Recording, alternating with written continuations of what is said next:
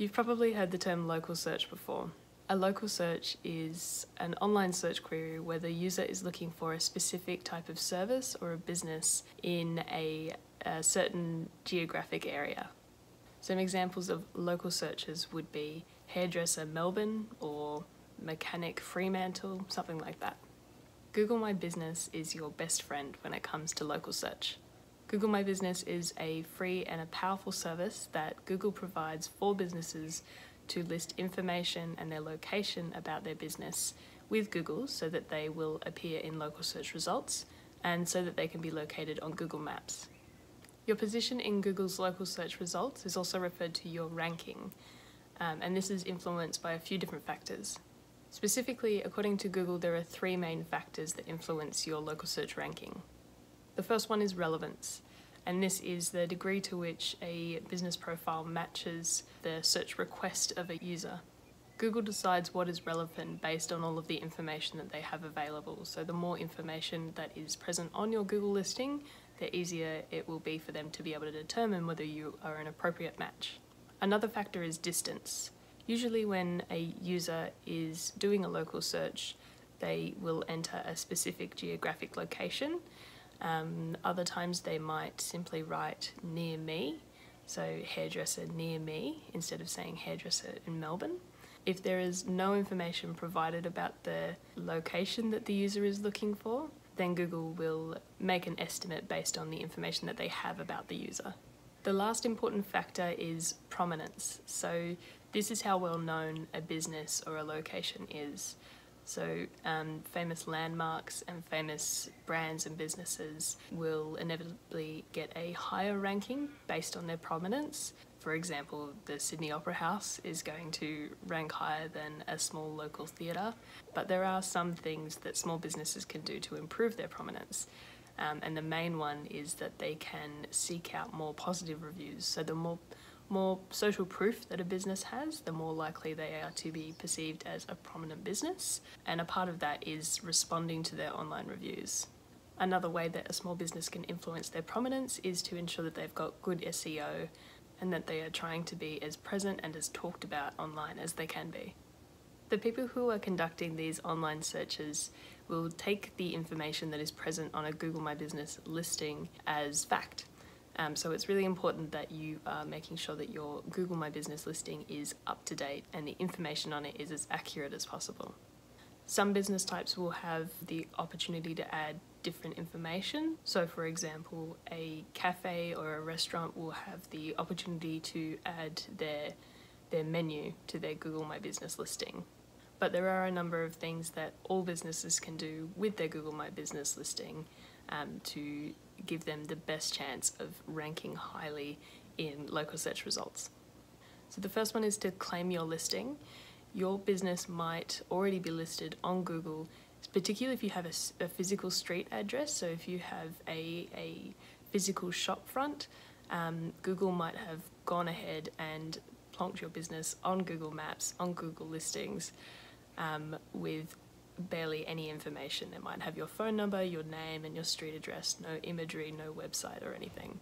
So, first, if you haven't um, engaged with Google My Business at all yet, do a quick search and see if you can find your business.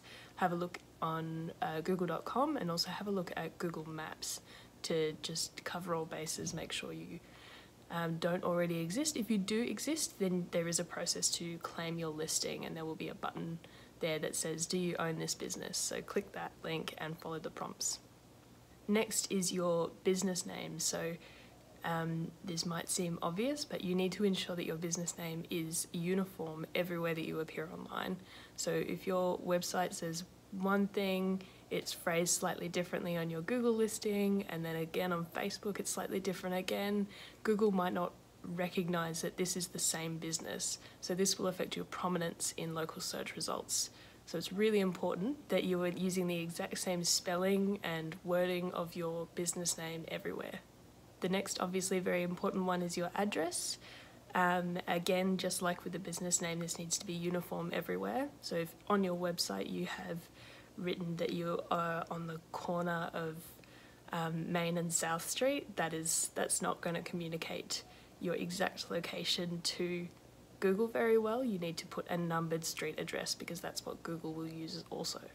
You can also add in your service area, so this is great for um, online businesses. Um, our business, for example, uh, we have our service area listed as all of Australia because we service businesses all across Australia.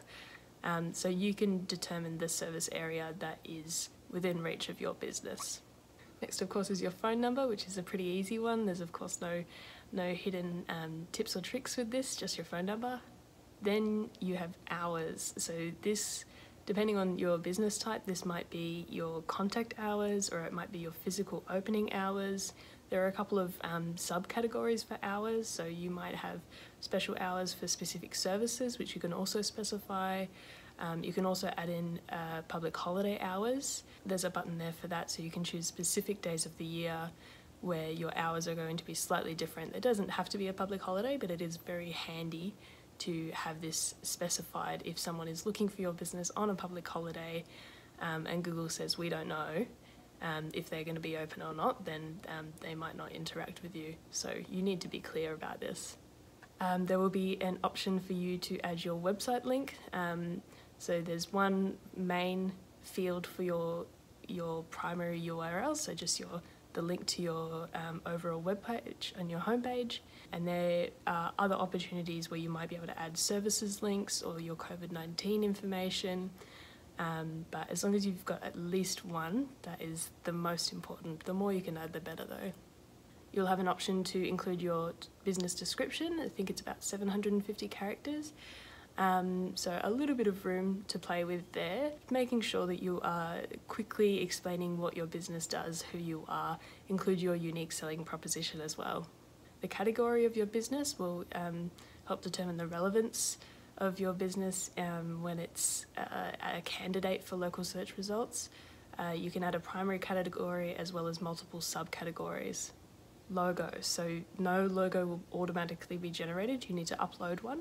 Make sure that you are uploading a square image because it will be cropped into a circular shape.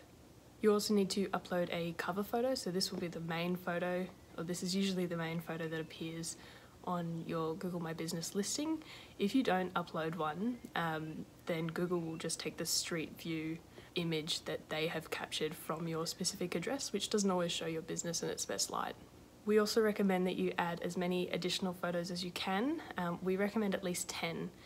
Um, and we say this because uh, your customers have the opportunity to upload their own photos, which may be great or they may not be. So as long as you've got some of your highest quality professional photos, if possible, and you are uploading those every year or so, um, updating, adding a few extras just to make sure that you are um, consistently portraying your business um, in its in its best light, basically. And finally, we have posts. Um, so posts, uh, also sometimes referred to as updates, is basically the Google My Business version of a social media thread. So you can add information about your latest specials, um, new products, a link to your latest blog post. Also really handy for unexpected closures, um, which obviously a lot of us are, are dealing with in COVID 19 and a lot of lockdowns.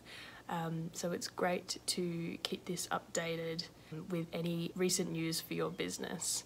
Another really important factor is your online reviews um, and your your star rating on Google My Business. So you may feel like this is kind of out of your control, but there is a lot that you can do to actively seek more reviews and request more reviews from your customers.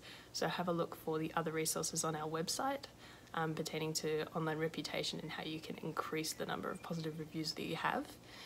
Um, and when you do receive reviews, regardless of if they are positive or negative, you do need to be responding to each and every one in a unique and a thoughtful way because you are addressing not only your reviewer, but also any potential customers who have come to your reviews looking for social proof. So, having a well managed Google My Business listing is a great way to expose your business to more customers, more potential customers online. Um, have a look at uh, our blog article to see some examples of um, an optimized Google My Business listing, so one where they've taken advantage of all the opportunities available to them, and one that has um, that has had no additional information added to it, and you can easily see the difference between the two. An easy way to stay on top of your Google My Business listing is to download the mobile app, which we have linked to in our blog article as well.